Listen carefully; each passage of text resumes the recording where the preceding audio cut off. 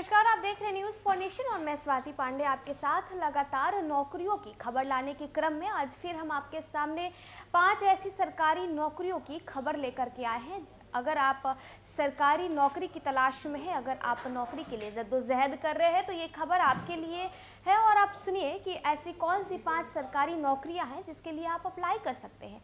इन इसके apply application की क्या डेट है, क्या एजुकेशन क्वालिफिकेशन है और क्या कुछ नोटिफिकेशन जो है वो जारी की गई है। चलिए आपको हम विस्तार से बताते हैं, जिसमें आपको बताएँ कि बीपीएससी से लेकर सीडीएस तक और इतना ही नहीं, बनारस यूनिवर्सिटी में भी आप नौकरी के लिए अप्लाई कर सकते नौकरी के लिए संघर्ष कर रहे युवाओं के लिए आज हम फिर से पाँच नौकरियों की जानकारी लेकर आए पहली भर्ती सीडीएस की है 441 पदों की इस भर्ती में ग्रेजुएट अभ्यर्थी अप्लाई कर सकते हैं।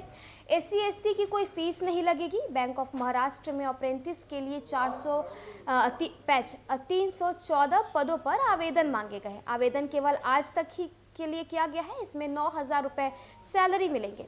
Power Grid Corporation of India ने 23 पदों पर भर्ती निकाली है। 14 जनवरी 2023 तक आप फॉर्म भर सकते हैं।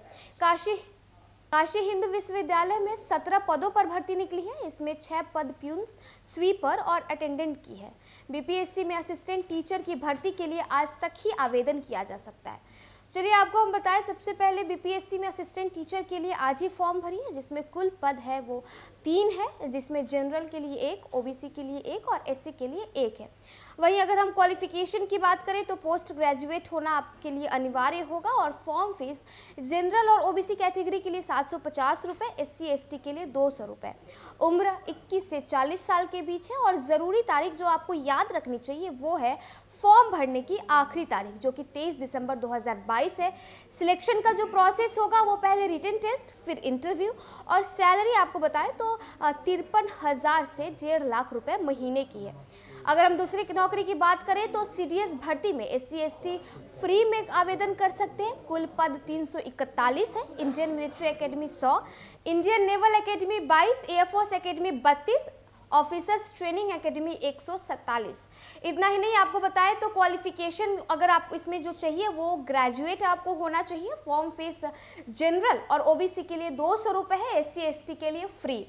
अगर हम उम्र की बात करें तो 19 से 24 साल के बीच के लोग ही इसके लिए अप्लाई कर सकते हैं। ज़रूरी तारीख जो आपको याद रखनी होगी, वो है फॉर्म भरने की आखिरी तारीख, जो कि 10 जनवरी 2023 है। सिलेक्शन का प्रोसेस रिटर्न टेस्ट इंटरव्यू और फिर मेडिकल टेस्ट के। अगर सैलरी की बात करें तो छप्पन हज़ार रुपये प्रति महीने हैं। इतना ही नहीं, अगर हम काशी हिंदू विश्वविद्यालय में नौकरी की बात करें तो इसके लिए भी आपके पास बढ़िया मौका है, जिसमें कुल पद सत्रह है।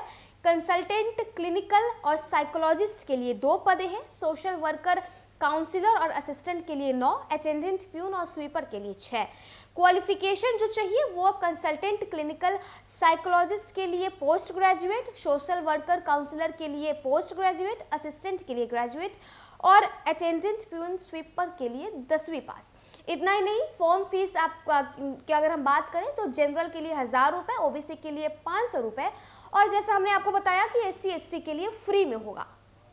अगर हम एज का अगर बात करें, उम्र की बात करें तो 18 से 40 साल के बीच के लोग इसके लिए अप्लाई कर सकते हैं.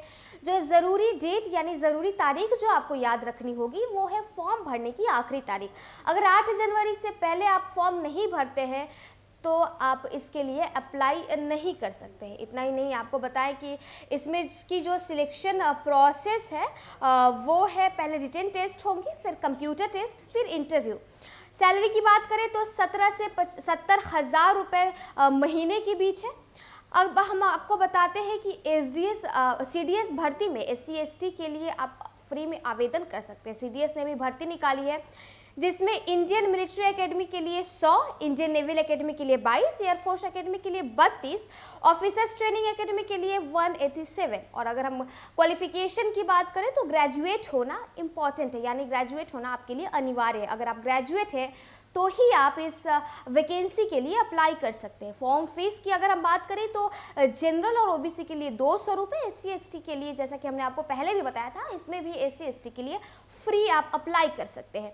उम्र की अगर बात की जाए तो 19 से 24 साल के बीच के लोग अप्लाई करेंगे और जो ज़रूरी डेट आपको याद रखनी है वो है फॉर्म भरने की डेट और वो आखिरी डेट है 10 जनवरी 2023 इसके भी जो सिलेक्शन प्रोसेस है वो रिटर्न टेस्ट, इंटरव्यू और मेडिकल। और अगर आप इन सारी चीज़ों में पास हो जाते हैं तो छप्पन हज़ार रुपये प्रति माह का नौकरी आपके हाथ में होगा। अब अगर हम लास्ट जो पाँचवें वैकेंसी की बात करें तो वो है बैंक ऑफ़ महाराष्ट्र में अप्रेंटिस के लिए। इसके लिए आप आज ही फॉर्म भरें। इसकी जो फॉर्म की आखिरी डेट है, वो 23 नवंबर 2022 है। उम्र 20 से 28 साल के बीच, कुल पद जो है, वो है 314 जिसमें जनरल के लिए एक ओबीसी के लिए 75